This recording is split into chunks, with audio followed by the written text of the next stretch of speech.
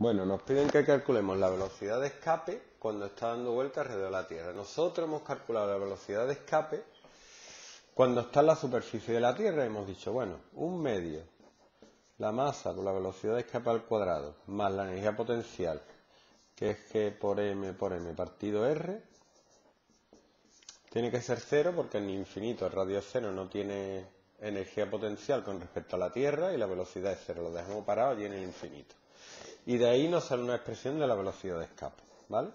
Pero eso es la velocidad de escape desde la superficie de la Tierra, ¿vale? Ahora, cuando está dando vueltas, no está quieto, está orbitando, tenemos que tener en cuenta que esta energía es la energía total. Me gustaría hacerlo de dos maneras. O sea, la velocidad de escape que yo le doy más la energía cinética que tiene ya de por sí, porque está dando vueltas alrededor de la Tierra, más la energía potencial que es negativa, al final tiene que resultar cero en el infinito. ¿Vale? Pero esta expresión ya la conocemos. ¿Vale? Esta expresión la hemos calculado antes, que era la energía total, que era esto. Entonces resulta que un medio de la masa por la velocidad de escape al cuadrado más la energía total que tiene el satélite, que es menos un medio de G por M por M partido R, esto es lo que tiene que ser cero. Entonces, cuando un satélite está orbitando, ya no es lo mismo.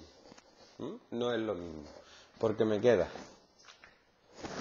un medio, un medio, la masa, la masa. La velocidad de escape es la raíz cuadrada de G por M partido R. ¿Vale?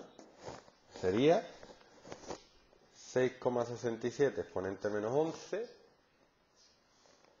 por la masa de la Tierra, que es 5,97 exponente 24, partido el radio al que está, que sería este.